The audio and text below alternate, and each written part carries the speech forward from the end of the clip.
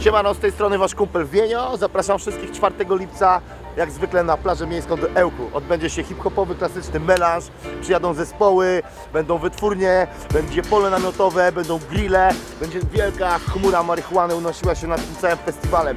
Zapraszam serdecznie, będzie fajny klimat. Aj!